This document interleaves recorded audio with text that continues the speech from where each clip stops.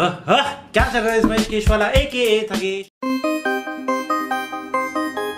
एक खगेश ने आधिकारिक तौर पर वर्ष 2014 से अपना YouTube करियर शुरू किया। उन्होंने जनवरी 2014 में भारतीय हस्तियों के ठग जीवन के क्षणों का एक कॉम्पिलेशन वीडियो अपलोड किया। उन्होंने इसका शीर्षक ठग लाइफ कॉम्पिलेशन रखा, लेकिन दुर्भाग्य से उनके लिए ठगेश को अपने करियर के शुरुआती दिनों में ज़्यादा व्यू या सब्सक्राइबर नहीं मिले। उसने वीडियो अपलोड करने का त्याग करने के बारे में सोचा।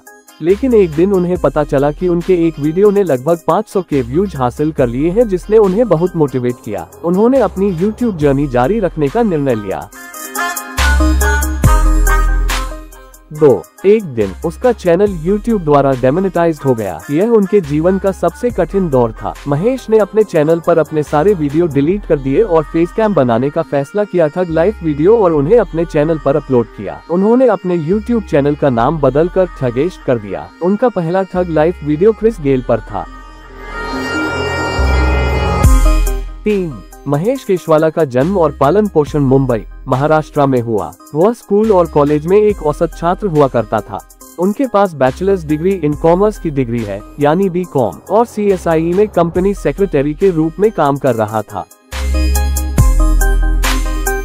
चार, महेश ने हमेशा उल्लेख किया है कि कैसे मॉडलिंग इंडस्ट्री पुरुषों के लिए एक अच्छी जगह नहीं है और हमेशा इसे एक डिसअपॉइंटिंग करियर के रूप में कहते हैं, जिसने उन्हें कुछ साल पहले डिप्रेशन में डाल दिया था। लेकिन इसके बारे में अधिक साझा नहीं किया है और इवेंचुअली उन्होंने मॉडलिंग छोड़ने का फैसला किया और बैचलर्स डिग्री इन लॉ पूरी की।